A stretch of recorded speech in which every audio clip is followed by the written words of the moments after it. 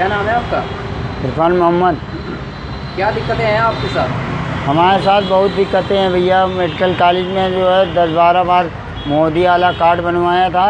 और उसके पीछे जो है हम दौड़ दौड़ के आजिज हो गए और दस बारह बार जाँच करवाई। और फिर उसके बाद में कहीं बेड नहीं खाली है आपका कोई काम नहीं है मोदी का जो है कोई काम यहाँ नहीं होना है। तो आपका आयुष्मान कार्ड बना हुआ है? जी। तो क्या कह रहे हैं डॉक्टर? डॉक्टर ये कह रहे हैं कि जो है मोदी का कोई काम नहीं है।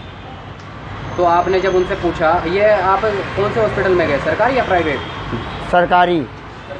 हाँ। क्या बोल रहे हैं वो? वो उन्होंने ये बात कही कि जो है मोदी का या हो या किसी चीज़ का हो आपको पैसा लगाना पड़ेगा आपकी जाँच करानी पड़ेगी चाहे 800 की हो चाहे 1600 की हो चाहे 2000 की हो। तो आपने आपको तो आपने उनसे कहा नहीं कि मेरा आयुष्मान कार्ड है? हाँ तो हमने बताया।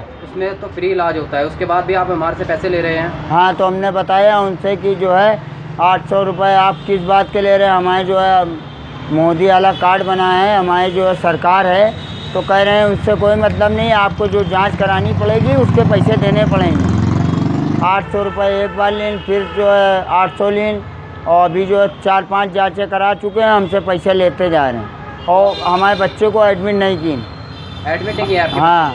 बच्चे की नाक टूट गई है वो बैटरी रिक्शा पलट गया था और उसके ऊपर जो है ऑक्सीजन हमने कहा कि ये सर जी हम भी एक आँख से हैं तो हमारी हेल्प करिए।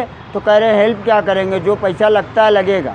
इलाज करने के लिए बोल रहे हैं लेकिन पैसे मांग रहे हैं। हाँ पैसे मांग रहे हैं। तो आपने जब अपना आयुष्मान कार्ड दिखाया तो उसके बाद क्या बोले वो? उसके बाद में उन्होंने कहा कि जब होगा तब होगा एक्टिवेट लेकिन आज को आप जो है जाँच कराएँगे उसका पैसा पड़ेगा। कौन सा हॉस्पिटल है? वो गांधी बाट हाँ। तो डॉक्टर कितने पैसे मांग रहे हैं? डॉक्टर कह रहे हैं कि हमको जो है जो जो दस बार जाँच कराएँ और दस बार हमसे पैसे लें। अच्छा तो टोटल खर्चा कितना बताया आपका? कंप्यूटर खर्चा बताए ने पचास हज़ार। टोटल खर्चा उन्होंने पचास हज़ार का हाँ। जो आपका सारा काम फ्री में होना चाहिए था हाँ। और सरकारी हॉस्पिटल में आपको पचास हज़ार रुपये देने पड़ रहे हैं। हाँ देने पड़ेंगे। तो आपने इससे किसी अधिकारी से शिकायत नहीं करी डॉक्टर के?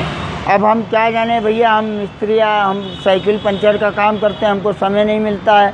और जो है, हम जाते हैं हमारी बीवी सुबह से शाम तक के बैठी रहती है, हम भी बैठे रहते हैं, भूखे प्यासे। हमारा बच्चा भी बैठा रहता है, अभी भी चलिए आप ट्रामा सेंटर में देख लीजिए कि वो वहीं गांधी बाग में बच्चे जो है सुबह से जाता है और कहते हैं कि टाइम नहीं है, बेड नहीं खाली है। तुम लोग यहाँ कैसे आ गए? जाओ ये जाँच करा लो जाओ वो जाँच करा लो और हम लोग जाँच करा करा के आजीज हैं। बारह सौ बताते हैं आठ सौ बताते हैं वहाँ जमा कर देते हैं चले आते हैं। कोई सुनवाई नहीं है।